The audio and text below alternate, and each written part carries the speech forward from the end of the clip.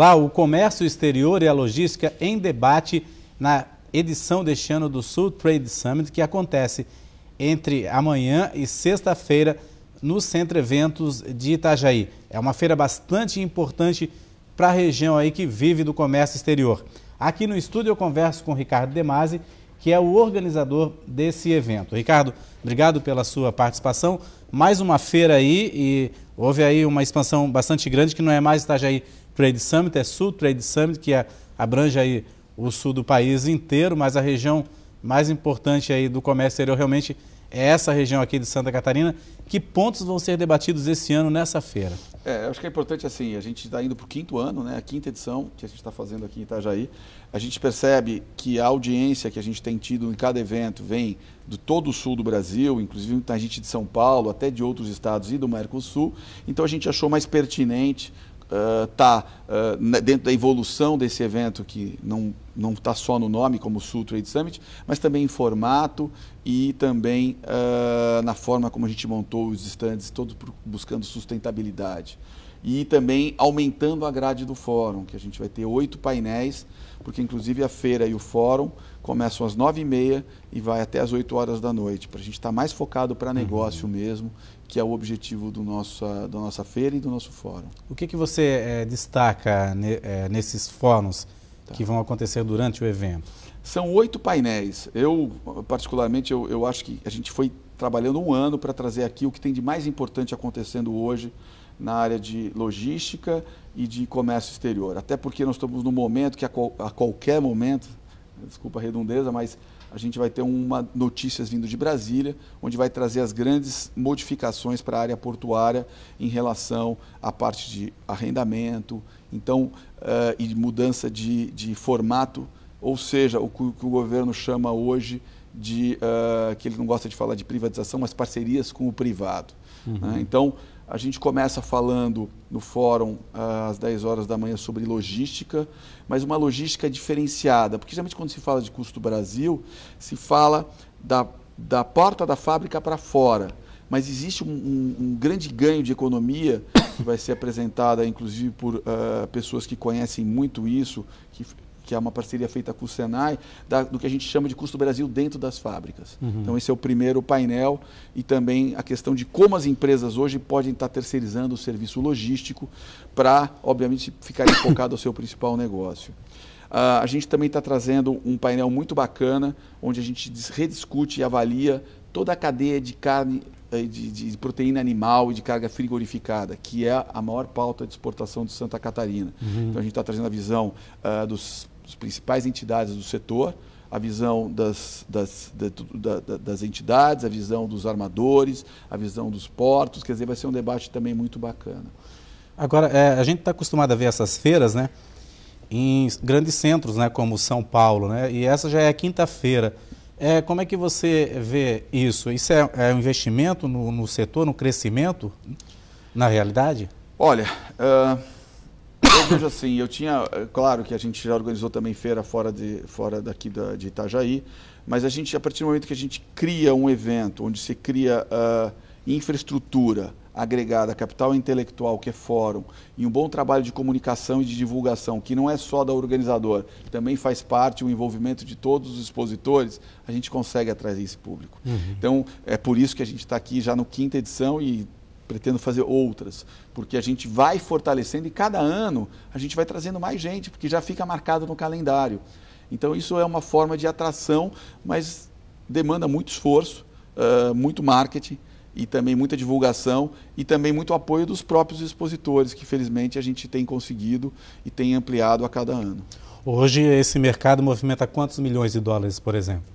A gente fala que em 2011, entre exportação e importação, ou seja, só de mercadoria, sem contar toda a parte de frete, né? e toda a parte que movimenta de logística, por exemplo, de armazenagem, de transporte interno, a gente está falando em 400 bilhões de dólares. Ou seja, é um número muito grande. Hum, é muito dinheiro. Né? É muito dinheiro, mas isso é tudo que se exporta e que se importa no Brasil, que hoje, felizmente, a começar por toda essa cadeia logística de Santa Catarina, está muito balanceado o volume de contêineres, o volume de movimentação, que isso é mais um, um fator positivo. Porque normalmente o país só que exporta, não adianta um país só que importa, porque aí também gera mais custo na área do transporte, porque fica desbalanceado. E isso é uma característica do estado de Santa Catarina. No cenário nacional, assim, é, como que Santa Catarina se destaca nessa questão do, da, do comércio exterior e da logística? Cinco portos? É. Eu acho que é o único estado do Brasil, acho não, é o único estado que tem cinco portos operando, sendo que dois são terminais privativos, realmente terminais privativos, que é Navegantes e uh, Itapoá. Né? A gente tem também os modelos arrendados que são bem sucedidos, não, não vamos nem discutir o, o, a qualidade do, do, porto de Itajaí, junto com o seu operador, que é a PM Terminals.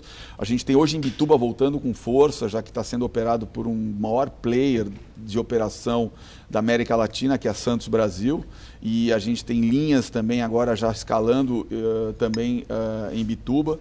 Ou seja, eu acho que é que nem shopping center. É, é bom ter uma loja do lado da outra, né? Uhum. Porque inclusive você tem zona de conforto e garante agilidade. Porque tanto o exportador como o importador, o que ele precisa de agilidade, pontualidade, segurança em toda a cadeia, não só no porto, mas também tudo que está na retroárea, e isso uh, Itajaí em, em, primeira mão e, e o resto de Santa Catarina acaba tendo e desenvolvendo. Então a gente percebe que a gente está até tentando criar esse conceito de plataforma logística de Santa Catarina. Porque agora, com os fins dos subsídios para importação, ele, a, a, essa plataforma precisa se tornar cada vez mais conhecida e se tornar como principal opção para exportação e importação do Brasil. Uhum. Esse é o caminho que tem que ser trilhado agora, de agora em diante. Você falou no fim dos subsídios, né? É, a unificação do ICMS pode atrapalhar a movimentação aqui em Santa Catarina? O mercado está muito, o mercado local está muito assustado com isso. Uh, até que a gente manter e crescer um pouquinho a feira em relação ao ano anterior foi uma grande virtude. Uh, porque eles já estão temendo, uh, mas existe uma briga jurídica muito grande, a gente vai apresentar isso no painel no fórum na sexta-feira. Existe também, eu não acho que é o fim do mundo, muito pelo contrário, eu acho que é um começo de uma nova fase. Eu tenho um exemplo eu acho que a gente tem que, além de ser ágil, que a gente já é, a toda a parte de retroárea de armazenagem pode evoluir muito, agregando serviço e vendendo serviço ao exportador e principalmente ao importador. Dando um exemplo, ah, uma empresa que importa capacetes, a partir do momento que esses capacetes estão dentro do armazém, fazer tudo que se chama de body shop, né? ou seja, você uh, numerar, embalar, porque eles vêm em pallets, colocar os selos obrigatórios de, de, de INPE, uh, fazer todas as grades e já distribuir para as lojas. E também com o e-commerce, com as mudanças, modificações do e-commerce e o crescimento do e-commerce, também já fazer tudo daqui. Então eu vejo muita coisa que hoje não era prioridade, até porque o incentivo, entre aspas, forçava ou facilitava demais a atração das cargas, você repensar o modelo, agregar serviço em toda a cadeia e com isso continuar crescendo. Eu não tenho dúvida que uh, essa unificação não vai ocorrer a médio prazo, porque a nossa uhum. é a questão tributária, a questão que chama de guerra fiscal, mas não é guerra fiscal, é a, é a guerra dos portos. É a guerra tributária pelos próprios estados do Brasil. E como a gente está percebendo essas mudanças uh, e essa unificação, que agora está se falando em 4% para todos os estados, isso vai ter que, uh, de uma forma ou de outra, vai ter que ser equalizado. E a partir disso, eu não, não tem volta. É, a infraestrutura está aqui, a, a, as pessoas estão capacitadas, tem a questão da cultura do trabalho, que não dá para discutir, que existe, eu estou aqui há 10 anos e Santa Catarina ela é clara, né? e obviamente a riqueza que gerou é, a logística e o comércio exterior para o Estado. Né? Uhum. Então, mais particularmente para Itajaí, é para a logística mesmo. Né? Então, isso não tem volta. Né? Ninguém, depois que se acostumou a um patamar, não, ninguém quer voltar para trás. E não vai voltar para trás. Tá? O Brasil ainda é, falta ainda caminhar mais um pouco nessa questão da logística, do comércio exterior, ou ele está consolidado em relação ao resto do mundo? Eu vou dividir exportação, importação com logística. Eu acho que assim a gente continua exportando agrobusiness, né? o que está segurando a pauta de exportação uhum. é, o, é o agronegócios. Uh, eu acho que a gente virou um grande país importador, mas faz parte do processo, não vejo problema nenhum. Você vê grandes marcas hoje uh, importando, grandes fabricantes importando. Então, alguns, alguns alguns incentivos para a indústria nacional estão acontecendo, mas tem que tomar muito cuidado para não gerar o comodismo e o aumento de preço. Mas a gente tem condições de, como a gente exporta avião, exportar valor agregado em toda a cadeia. Né? Uh, Questão de importação, acho que a gente tem algum, algum, algumas outra, um, outras pautas que precisam ser uh, revistas, eventualmente, por causa de são preços imbatíveis, né? que vêm do mercado asiático. Mas eu acho que o Brasil está indo bem. Eu, eu acho que, assim, eu, eu, sou otimista. Eu vejo, eu vejo indústrias pequenas já com a cultura exportadora, porque hoje você vai no Facebook, você cria uma página e você pode estar sendo comprado de qualquer país do mundo. Uhum. Você vai, uh, não precisa nem ter site, né? você vai para o Facebook, para as redes sociais, por exemplo. Vende, a partir do momento que você tem uma demanda, social, né? você contata uma trade, você, ela faz todo o trabalho de exportação, como também faz o inverso. E, obviamente, a maioria dos componentes hoje de produtos com maior valor agregado tem pecinha que vem de um pedaço do mundo, outra, vem, uh, outra é produzida aqui, se junta e se exporta. Né? Uhum. Então, eu acho que eu estou otimista, sim, a coisa tem crescido, tanto que o volume de exportação e importação uh, em relação ao, PIB mundial ainda é pequeno, mas vem crescendo. Tá? Ok, a gente vai fazer um rápido intervalo, daqui a pouco eu volto a conversar com o Ricardo Demasi sobre a feira, a Sul Trade Summit, que acontece aí entre amanhã e sexta-feira no Centro Eventos da Marejada. É um instante só.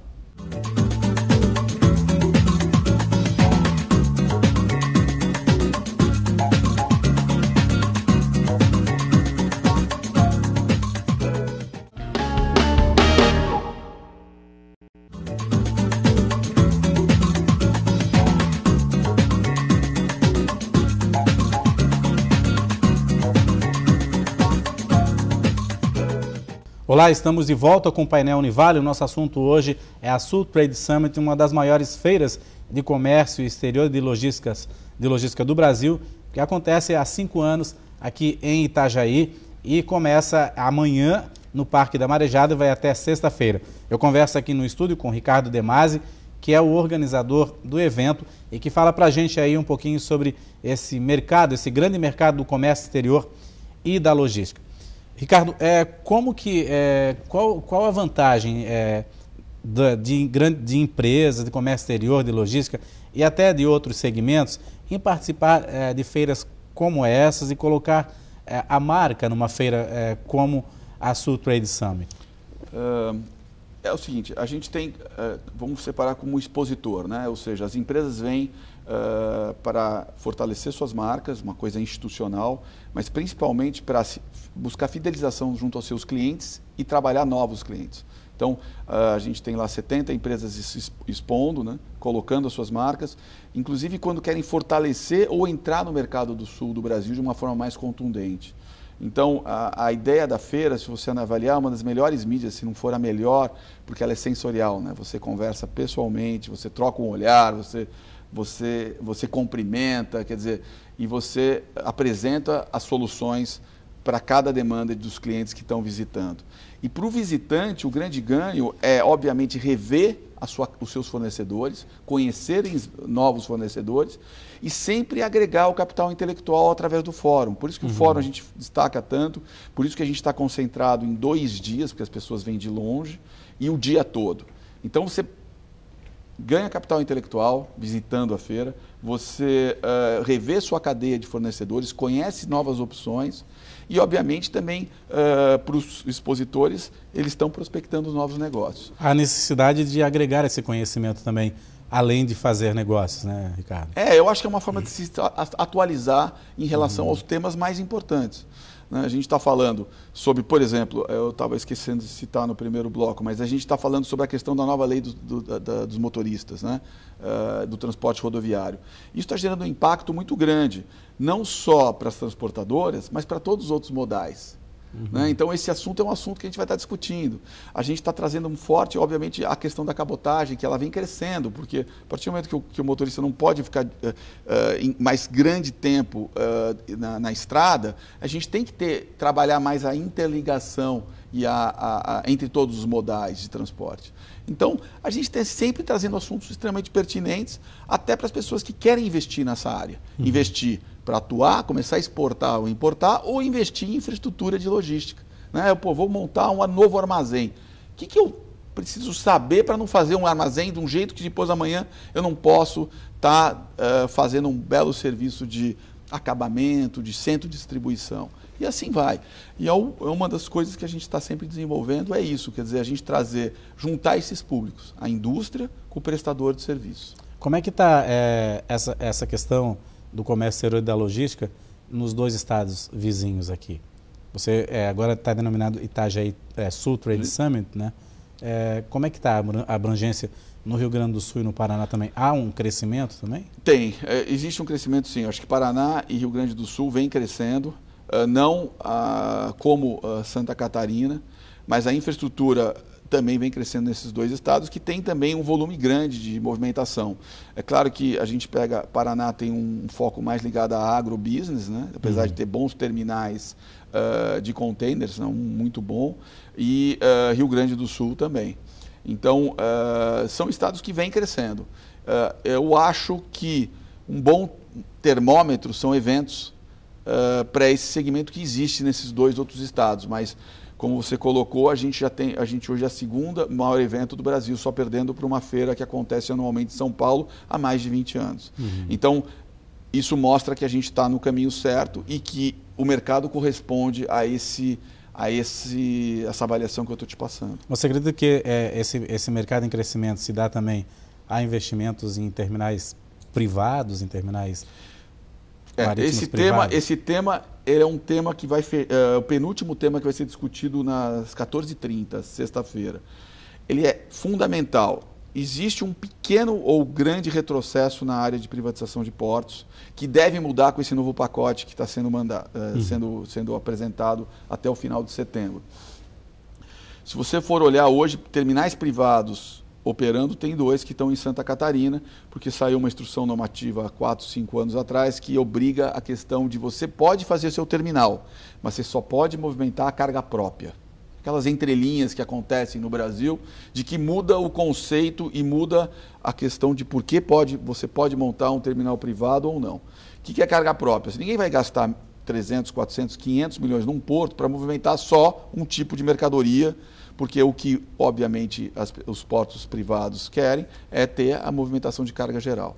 E isso deve mudar em breve. E também tem as questões ambientais, que aqui em Santa Catarina não, foi grande, não teve grandes impeditivos, mas existe hoje uma certa dificuldade para você fazer, pegar 500 milhões, por mais que você tenha no banco e queira investir num porto privado, um terminal privado, que é o termo correto, porque uh, existe essa cláusula que impede você movimentar carga de terceiros. Uhum. Então você vai contar nos dedos quem eventualmente faz um terminal para movimentar aço, ou para movimentar celulose, ou para movimentar um granel específico. Tá certo? Não pode ser uma movimentação de, de carga container? geral. Não, de, de carga geral. container pode, se seja carga própria. Carga própria. É, então uhum. isso cria um problema e jurídico. Por outro lado, por que, que eles, os terminais que são arrendados uh, e são uh, contra esse, esses terminais privativos, porque eles pagaram muito para ter uma, um arrendamento num uhum. leilão dentro do porto público. Então fala, eu paguei muito para ter direito a usar, agora o outro vai lá e constrói. Por outro lado, ele pagou muito, mas ele pegou um terminal já operando e tendo receita. Então é um debate interessante, porque você vai ver que todo mundo tem um pouco de razão e mas eu acho que tem que ter bom senso porque falta uh, terminal no Brasil. O que podem sair daí desses debates propostas também, né? Com certeza. Poder público. A gente está né? trazendo todo mundo para poder ter peso, quer dizer, a gente está trazendo quem, uh, todas as entidades de classe, porque para não personalizar né, uhum. a, a, a, discussão, mas todos os envolvidos. Né? Uhum. Né? Quer dizer, quem tem terminal privado em, em, em, em, área pública, quem tem só terminal privado e assim vai. E hoje, é, na feira, a partir da manhã, quem vai participar? Quais são as grandes empresas? Quais são as empresas que, que participam aí, que vão dar chance de trocar ideias de, e negócios, futuros negócios na realidade? Como, como visitante, a gente tem cadastrado, já tem, eu, eu vou estar recebendo, né? A gente faz todos os cadastramentos online, é importante para você não pegar fila e não precisar pagar para entrar na feira, então faz o cadastramento online uh, no site do evento.